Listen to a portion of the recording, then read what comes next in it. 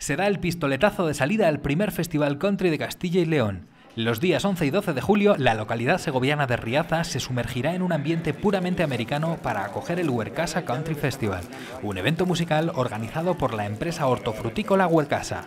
Los cimientos de este festival son nuestra apuesta por la vida sana, por la alimentación sana, nuestra defensa de la vida en el campo, porque creemos firmemente en los valores de la vida en el campo Pionero en su género en España, el Huercasa Country Festival reunirá artistas de primera línea nacionales e internacionales de la música de raíz norteamericana. Seis grupos llenarán a ritmo de country el campo de fútbol municipal Las Delicias de Riaza. El primero de los días, el, grupo cabeza de cartel del festival va a ser Corizonas. Eh, Muchos ya supongo que les conocéis, es un grupo que nace casi un poco por casualidad de la fusión de, dos grupos que ya existían, eh, Los Coronas y Arizona Baby.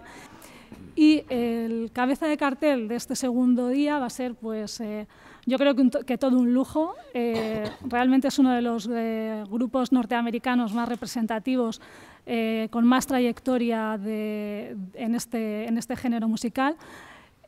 son los Jayhawks, eh, esta gente lleva pues cerca de 30 años eh, dentro del estilo que llaman, que llaman americana, sería un poco un country un poco evolucionado, con, eh, con toques de rock, con toques de, de rockabilly. Juegos infantiles, conciertos gratuitos en la Plaza Mayor o barbacoas de maíz son algunas de las iniciativas que se pondrán en marcha para convertir la Villa de Riaza en un pedacito de Norteamérica. Felicitar a, a Huercasa pues por esta idea que me parece brillante ¿eh?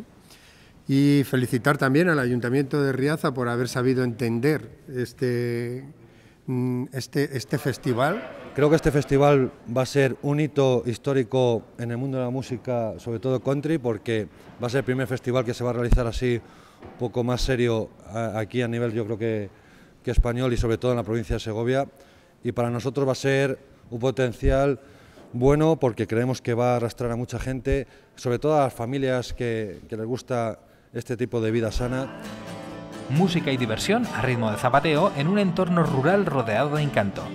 ¿Por qué no ir abriendo boca con el country rock americano de raíces de los Will Horses?